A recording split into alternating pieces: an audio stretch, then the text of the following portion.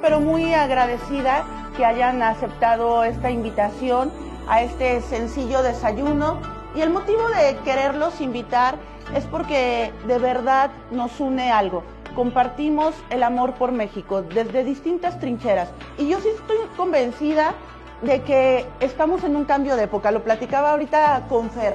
Y que un cambio de época implica pues nuevas formas de comunicar y necesitamos la veracidad en la información, que como nunca necesitamos el respeto a la libre expresión.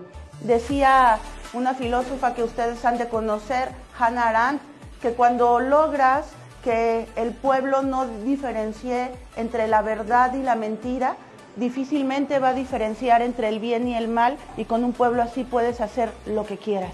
Y yo sí creo que estamos en esa época de la posverdad, pero que siguen existiendo medios objetivos como ustedes.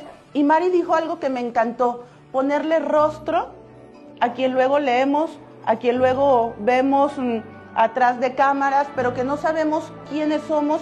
Y sí quiero de verdad decirles, de parte de una servidora, cuentan con una amiga. Y por eso pedirles con mucha humildad, sean críticos, sean críticos, no, no dejen que nos desviemos porque sí habemos servidores públicos que sí estamos aquí porque amamos a México.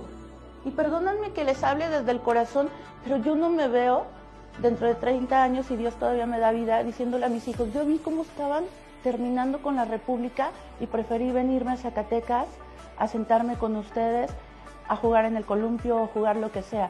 No, si habemos mexicanos que sí estamos aquí, no por lo que se gane, no por lo que nos... Mm, la exposición. Estamos aquí porque de verdad amamos a este país y va a ser la herencia que dejemos a las futuras generaciones.